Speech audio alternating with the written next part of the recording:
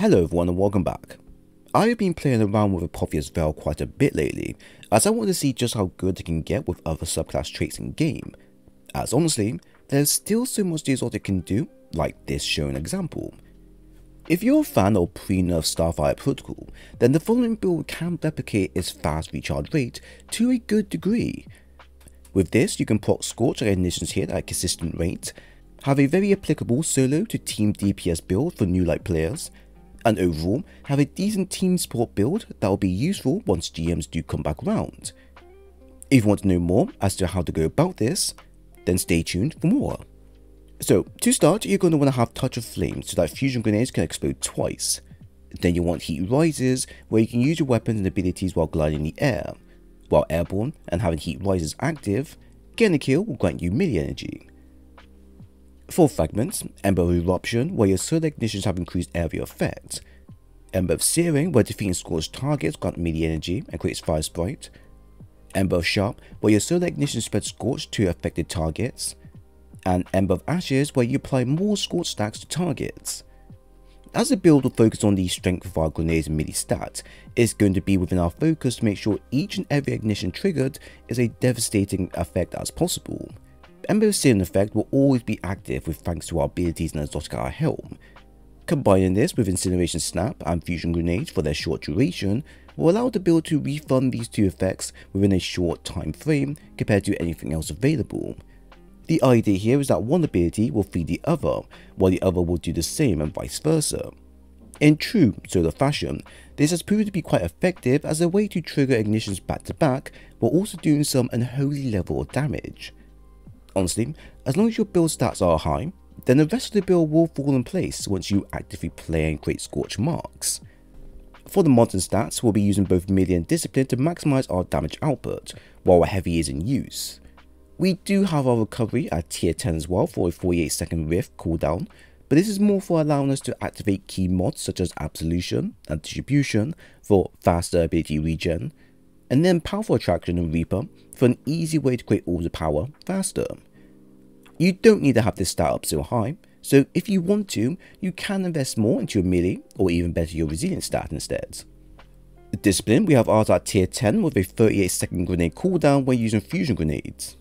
At this base level, we will be supporting the build further with Fire Sprite, Grenade Kickstart, Absolution, and Distribution mods, so no matter where we are, we can always have this grenade available at a moment's notice.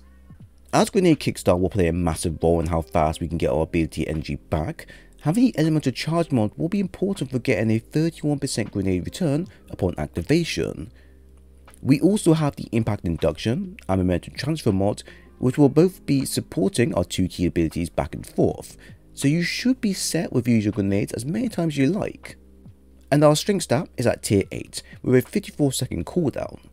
The only reason this is not higher or even maxed out is because the Ember of Searing, Heat Rises and Momentum Transfer mod effect which will grant you melee energy back. So there is no point at all of investing more into this stat when that can be pushed elsewhere. This next section covers the additional mods and armor charges. We have Charged Up which will expand how many charges we can carry once we collect an Orb Power. After that, having Harmonic Siphon will further help recreate Auto Power at a faster rate for us. And then lastly, having Ashes to Assets, hands-on, and Soul Scavenger mods will be very important with activating the build to its max fullest. So for the weapons, we will be using the Zaouli's Bane with Incandescent and Assemble, which is a nice weapon to overall use with the build since we can activate its origin trait more often via use of well in a team. It has good damage, good range, decent reload, fits well with fragments used, and feels nice to use even when being applied in endgame content. However, I am aware that the following is a raid exclusive weapon that not everyone's able to get, which is why the Apothio integration hand cannon from Nightfall is another good alternative to get, which is in the same frame type as Zaouli's Bane, but does offer a bit more ease of use and extra damage via its static perks and stats. All you gotta make note of here is you just need a weapon with incandescent on it, and you should be good from there. For heavy, we have the Dragon's Breath Exotic, which has now been newly reworked from D1.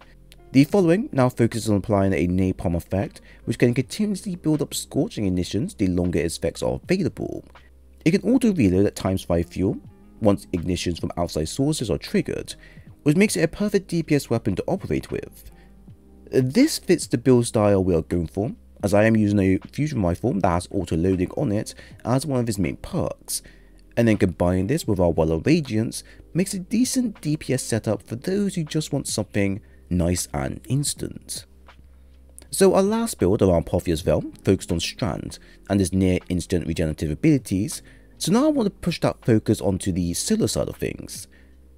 Many of you here may have experience with using Starfire Protocol before its nerf, and if you want to feel that level of DPS again, then the following should scratch that itch.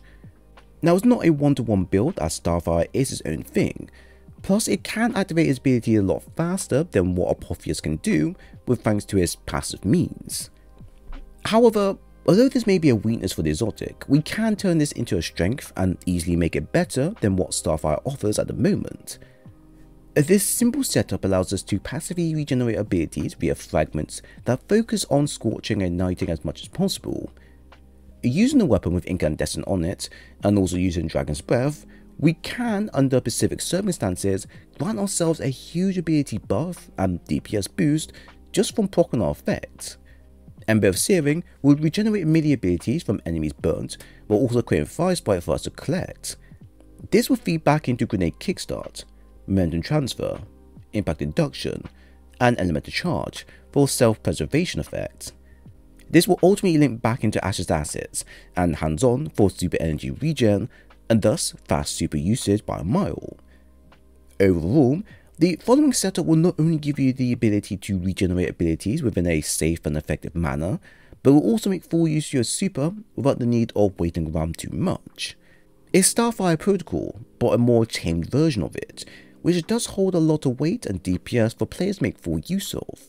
Using this against bosses to mini bosses does show a lot of promise in terms of bursting a boss health down as fast as possible, and with how easy it is to get your super up and running via solar, you'll never be too far off from using your super again.